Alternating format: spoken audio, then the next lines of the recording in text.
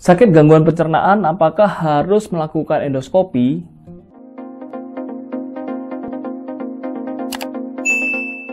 Pertanyaan ini juga beberapa kali ditanyakan kepada saya.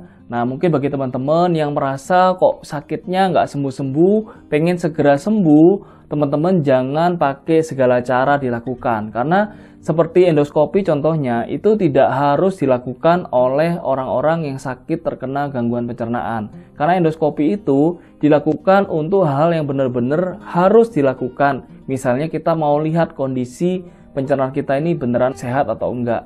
Jadi kalau misalnya kita sakit GERD nggak sembuh-sembuh, kita tuh sebenarnya nggak harus dilakukan endoskopi.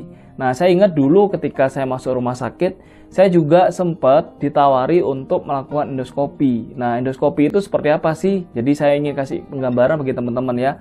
Nah, pada waktu itu saya ditawari untuk endoskopi untuk melihat bagaimana kondisi lambung saya. Nah, tapi dengan berbagai observasi, salah satunya ketika orang mau endoskopi itu kan harus e, puasa, terus harus dicek ya, cek kesehatan tubuh, cek darah gitulah, pokoknya cek-cek gitu.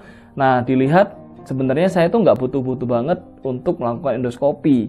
Karena apa? Endoskopi itu kan memasukkan uh, selang kecil dengan ada kamera mini ya, dimasukkan dari mulut kita ke lambung kita ya. Dan itu dilakukan dalam kondisi kita itu dibius. Nah, pada waktu itu yang saya dengar dibius total dalam waktu sekitar 60 menitan lah satu jaman gitu ya.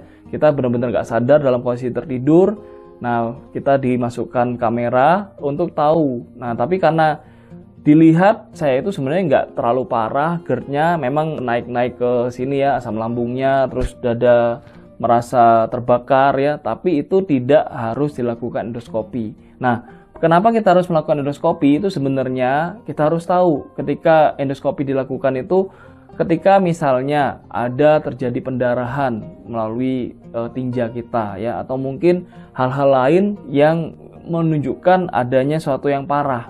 Jadi bagi teman-teman yang kalau memang nggak terlalu parah ya maksudnya dalam kondisi kembung gitu ya dalam kondisi e, sesak karena asam lambung itu sebenarnya nggak harus dilakukan endoskopi. Jadi bagi teman-teman kalau misalnya dokter nggak nyuruh endoskopi jangan kita malah minta. Karena ya percuma ya karena nggak kelihatan apa-apa. Kecuali kalau di, di dalam lambung kita itu ada pendarahan atau ada luka ya. Dan kita harus tahu juga endoskopi itu juga ada resikonya. Resikonya adalah ketika itu kan ada selang sama kamera dimasukkan ke badan kita kan di dalam organ tubuh kita itu akan terjadi bisa aja gesekan ada jadi kayak luka ya karena eh, apa dimasukkan alat itu ya dan juga bisa terjadi infeksi ya jadi nggak harus benar-benar dilakukan kecuali memang benar-benar gawat ya. Nah, semoga dapat membantu teman-teman semua.